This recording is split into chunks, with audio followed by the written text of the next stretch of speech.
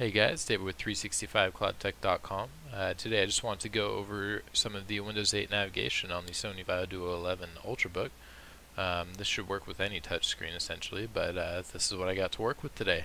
So uh, just to go through your initial start menu, just throw the screen to the left or the right. It'll uh, have a set list of applications, uh, usually preloaded by uh, Windows, uh, Microsoft, they will go ahead and just throw load it up with all their applications. Uh, I've already condensed mine down to a small list, just to, what I use on a daily basis or uh, what I'd like to commonly get into.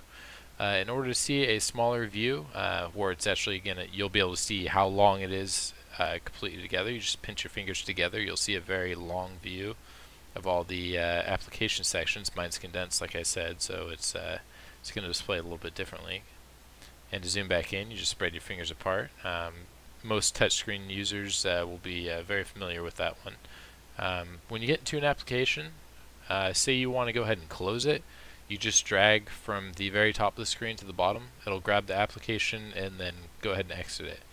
Um, so if you uh, also want to bring something to the side, kind of like you want to have dual monitors on uh, one one area of the screen, uh, you can just go ahead and drag it down and put it to the right or the left of the screen. And then on the left here you just tap once. It'll reopen the start menu say we want to uh, go ahead and browse the web.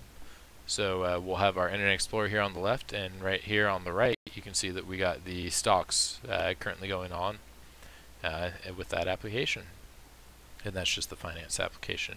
And if I want to stretch this back out I just grab the bar and push it out and then I see the full application of the Bing Finance. Let's go ahead and close that. Um, in order to move some of the applications, uh, go ahead and uh, if you have a stylus, grab the stylus and you can actually just go ahead and uh, press down and move an application just like that and it'll start adjusting all the other tiles uh, and you just do it to whatever you want essentially. Uh, in order to remove something off of here, you uh, go ahead and hold down with the stylus and it'll do a right click you'll see that it'll put a circle uh, hopefully I can get this on the webcam but if you press down it'll put a circle on the screen and then you'll see a little check mark there at the top right and then you'll get a menu here at the bottom left and you'll see unpin from start, unpin from taskbar, open new window, etc. Run as administrator. I'm not going to do anything with it so go ahead and just leave it as is. Uh, but that's how you remove it. Uh, if you want to see the full app drawer, you just go ahead and go from the bottom up, and then you'll see all apps down here at the bottom right. You can go ahead and hit that, and you'll just see a full list of all the applications. Uh, if you want to sort these in alphabetical order, you just go ahead and uh, pinch down, and you'll see ABC all the way through. And then uh, if you're familiar with the Windows 7 folder structure, uh, if you go to like all programs, you'll see everything sorted out here in alphabetical by the pertaining folder. And then zoom back in, you just spread them apart, and there you go. You're back in. Alright, so uh, let's go ahead and uh, let's take a look at the sidebar here. So on the sidebar, we have search, share, start, devices, and settings. Uh, search is definitely one of my favorite features. Uh, if I want to search for something real quickly, say I have the keyboard out uh, and I'm in my main desktop area, if I just hit the Windows key and I start typing whatever I want to use, so to say I want to look up my Ventrilo voice application, I got a nice little, it just, it's everything's indexed so it's super quick to finding everything, it's just about instant. Uh, or if I want to look for something like Photoshop, it's just instantly there just by typing it in. Um, that's one of the features I love about this and how fast it is and how snappy and just it brings you everything instantly. Um, break this back down. Uh, so on the right side, uh, if you go into uh, like settings here, you'll see a couple different options. You'll have like uh, your wireless connection, your sound, and your screen. Uh, the screen, I like to lock my screen so when I turn it on the side, it doesn't actually change the screen and it just stays in this one resolution at this uh, the same angle. I like the the widescreen angle but you can uh, turn it on and off down over here at the top you'll see a little screen with the lock at the top if you hit that you turn your screen it'll allow you to turn the screen based on your device uh, if it supports all that but yeah, uh, that will uh, unlock the screen so you can shift it around. And I'm go, going to go ahead and uh, lock it back up there. Okay. So when you pull out this uh, sidebar, if you're in an actual application and you hit settings, you'll get a different settings bar here on the right pertaining to the actual application that you're in.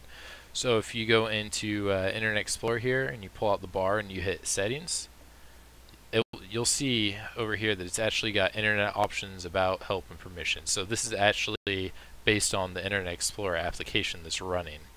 So whenever you're running a different application, it will show a different settings menu there.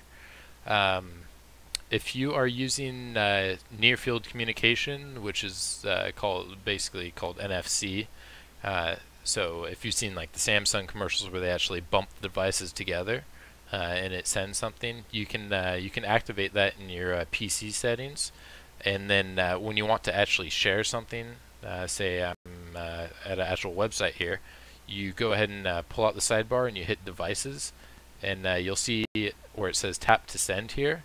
Um, you go ahead and hit that and it'll basically start it up and prepare it for sending. And then on the back of the device, you'll see a little emblem right here. It does the little uh, near field communication. You just uh, basically tap two devices together and uh, you'll be set. And it will uh, it'll prompt the other user up here at the top right if they're on Windows 8, and they'll say uh, someone's your your NFC device, and go ahead and click it to receive the file and then go ahead and hit it and uh, it'll uh, send it right over. Um, let's see. That's uh, that's pretty much the basics of uh, just the start menu. Uh, if there's anything that gets more crazy, uh, I will definitely make another video on it. Let me just go ahead and browse through here. Something I like to do when I create a user account, I like to actually create a pin. Um, mine's change pin right now, but normally when you tie it to a live account, it'll have you type in the password for the full live account. Uh, I like to set a pin for mine, so it's just four things just to get right on and into it very quickly. Uh, you go ahead and go into PC settings and users. If you didn't see that, I'll go ahead and do it again. So on the right here, you go to settings, and at the bottom you'll see change PC settings.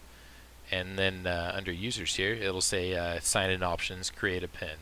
And you can just create a pin and uh, makes it very easy to log in and just a little four digit password.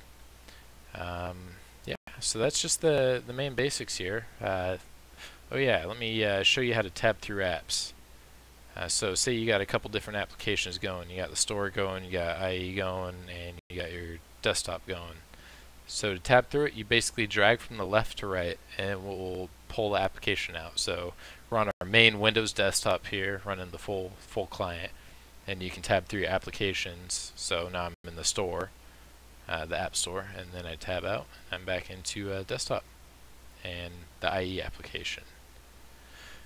Alright, so that was the quick uh, quick rundown of this. I hope you enjoyed the video and uh, learned something out of it. Um, if you have any questions, uh, feel free to leave a comment and I will uh, get back to you. Thank you for watching.